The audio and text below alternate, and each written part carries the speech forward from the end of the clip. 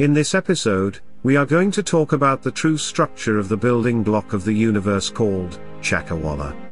Or in other words, a world system or a galaxy.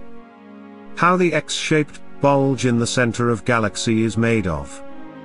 And, is this universe being formed only for Earthlings and no extraterrestrials live out there? Without further delays let's get rolling and discover the truth. Before we talk about the locations, formations and the map of 4 trillion plus human words. Let's first discover the basic structure of a world system. In order to locate these worlds, we'll take the bulge as the center and divide this into four directions. Then, Start it from planet Earth. Even though it looks complicated initially, these are basics of what Easterners know about the universe. However, we'll come to that later and let's look at the disc shaped system first to understand the worlds located there. When the world is seen from the center, or the bulge, the front facing surface or the visible part of this world is said to be a blunt nosed triangle shaped one. And this description probably echoes the shape of the coastline of India. According to the knowledge in Eastern world, this is called Jambudvipa. And is located in the south, and is the dwelling of ordinary humans. The people here are 5 to 6 feet tall, and their length of life varies between 10 and beyond in each era. In addition to that, this also the birthplace for animals and the hungry ghosts called Preta. If we move towards east, we can find the world called Purvavideha. The visible top surface of this world is shaped like a semicircle with the flat side pointing westward, towards. Its tree is acacia. The people here are about 12 feet or 3.7 meters tall, and they live for 700 years. Their main work is trading and buying materials. If we go to the north side of the disk, we can find the world Uttarakuru, and the top facing part of this world is shaped like a square. This continent's tree is called a Kalparuka or Kalpa tree, because it lasts for the entire Kalpa or an eon. The inhabitants of Uttarakuru have cities built in the air. They are said to be extraordinarily wealthy, not needing to labor for a living as their food grows by itself and having no private property. They are about 48 feet or 15 meters tall and live for 1000 years, and they are under the protection of God called Vaisravana or Vesamuni. Aparagodaniya or Aparagoyana is located in the west, and the top surface that is visible from the sky is shaped like a circle. The tree of this continent is a giant kadamba tree or burr flower tree. The human inhabitants of this continent do not live in houses, but sleep on the ground. Their main transportation is bullock cart. They are about 24 feet or 7.3 meters tall and they live for 500 years. Let's go back to the place where we started. This is the location of our planet, if we go underneath, we can find the place called, Hell. Purgatory, or in other words, Niraya, the name given to one of the worlds of greatest suffering. As with the other realms, a being is born into one of these worlds as a result of his karma, and resides there for a finite length of time until his karma has achieved its result, after which, he will be reborn in one of the higher worlds as the result of an earlier karma that had not yet ripened. The mentality of a being in the hells corresponds to states of extreme fear and helpless anguish in humans. Physically, Naraka is thought of as a series of layers extending below Jambudvipa into the earth. There are several schemes for counting these Narakas and enumerating their torments. There are eight hot Narakas. Sanjeeva, the reviving Naraka, Kalasutra, the Black Thread Naraka, Samgata, the Crushing Naraka. Raurava the Screaming Naraka, Mahararava, the Great Screaming Naraka, Tapana the Heating Naraka, Mahatapana, the Great Heating Naraka, Avici, the Uninterrupted Naraka. Each lifetime in these hot Narakas is eight times the length of the one before it. There are eight cold Narakas and their names are the Blister, the Burst Blister, the Naraka of Shivering, the Naraka of Lamentation, the Naraka of Chattering Teeth, the Naraka of Skin becoming blue as a blue lotus, the Naraka of Cracking Skin, the Naraka of Total Frozen Bodies Falling Apart. Each lifetime in these cold hells is 20 times the length of the one before it. Moreover, There are 16 subdivisions can be found in each level of Naraka, and according to the mix of your own unwholesome actions, you have altogether 136 places to suffer. And coming out from these ones are really hard as the gravitational force or the amount of dark matter is higher in these regions. And due to that, your body is also formed according to each environment. However, let's move on to the center parts of the world system. This is called Sumeru or Mahameru. In the space at the bottom of Mount Mahameru, much of which is a deep ocean, you can find the world called Asura. They are also called as Titans, and are always fighting to regain their lost kingdom on the top of Mount Sumeru. But are unable to break the guard of the four great kings. The Asuras are divided into many groups, and have no single ruler, but among their leaders are Vepacitti and Rahu. Let's climb up the Mount Mahameru to see how the top side of the Chakrawala looks like.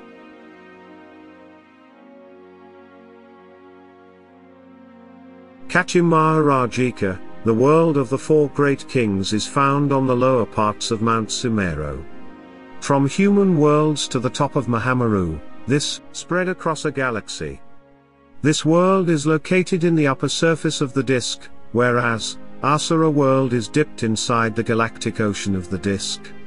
Though some of its inhabitants live in the air around the mountain, its rulers reside in Mount Yugandhara and are the four great kings of the name, Viruda, Dhritarashtra, Virupaka, and their leader Vesawana. Let's go one level above to see the world. Tavatimsa, the world of the 33 Devas, is a wide flat space on the top of Mount Sumeru, filled with the gardens and palaces of the Devas.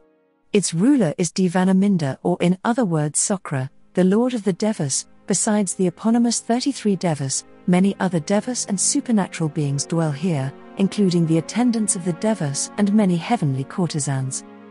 The beings of this world are 1,500 feet or 460 meters tall and live for 36 million years. The height of this world is 80 yojanas above the earth.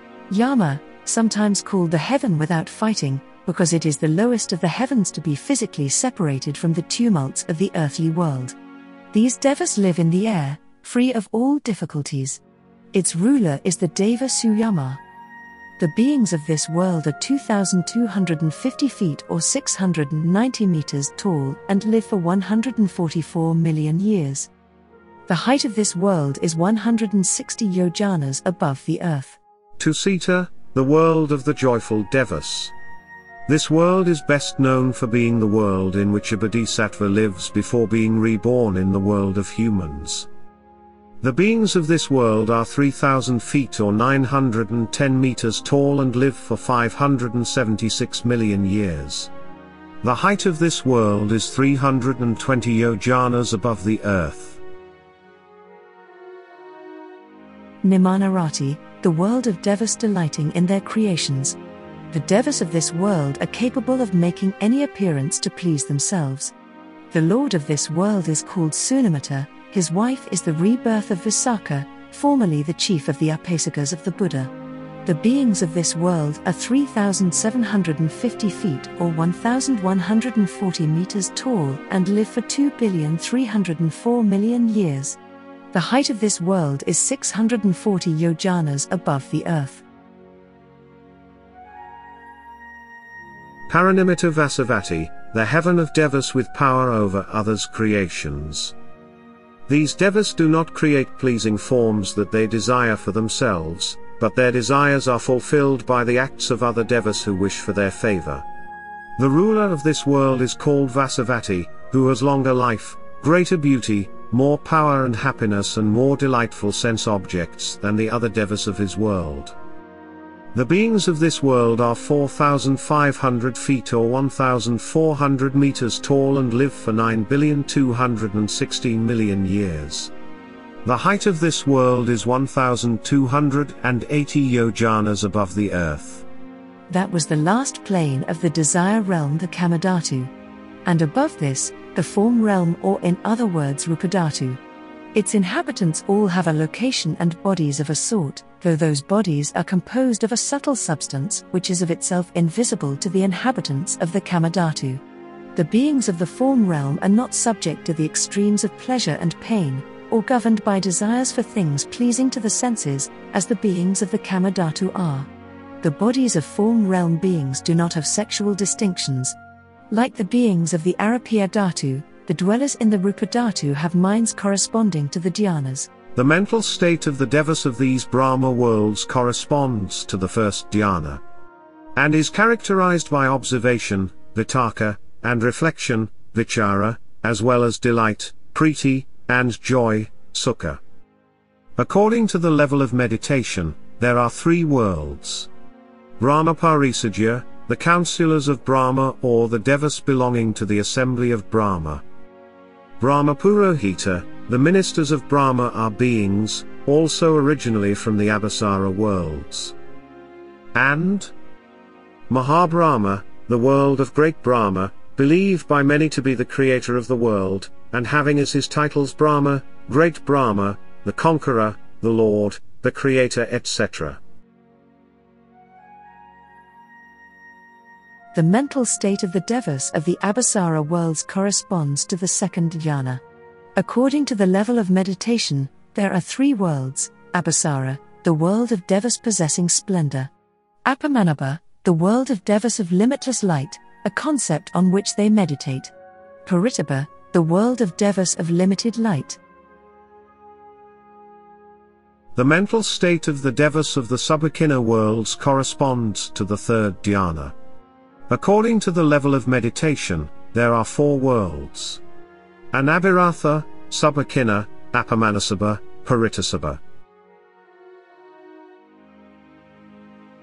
Suddhavasa worlds, or pure abodes, are distinct from the other worlds. They do not born here through ordinary merit or meditative attainments. Only the anagamins born here. They will attain enlightenment directly from the Suddhavasa worlds without being reborn in a lower plane. There are five Suddhavasa worlds. Akanita, world of devas equal in rank. Sudasi, the clear seeing devas. Sudasa, the world of the beautiful devas.